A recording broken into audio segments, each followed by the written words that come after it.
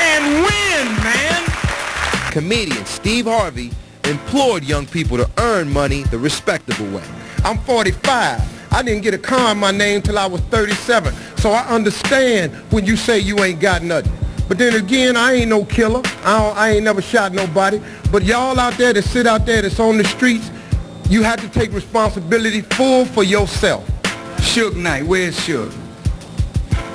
He didn't make it? Suge Knight did show eventually, and when the cameras rolled, so did he. I'm here to put nobody down, but I'm here to call a ball a ball, strike a strike. If Farrakhan can be here, and Suge motherfucking Knight can be here,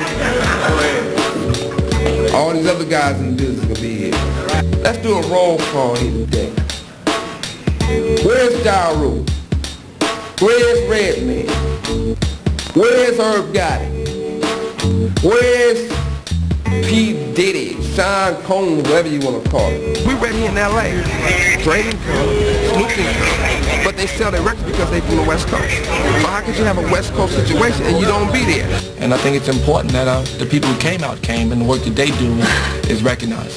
Tempers flared when some at the conference complained that Suge was getting away from the positive theme of the event. But I cannot sit here and continue to let the devil for being here.